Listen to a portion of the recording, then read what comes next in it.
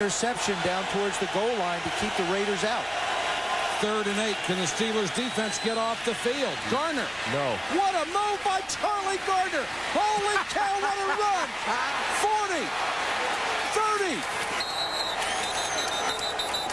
What a great run. He must have made four moves that just left people flat-footed. Not since Barry, Barry. Sanders have we seen anything that resembles these kind of moves. Watch you're this. right. Another shovel pass. Great call. One, juke. Ah, you missed me. Ha, you missed me. Spinner. Look out. I'm gone. Then he turns on the speed to get outside. Look at that.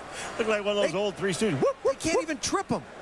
What a magnificent run from Charlie Garner. And Joe, you're right. That looked like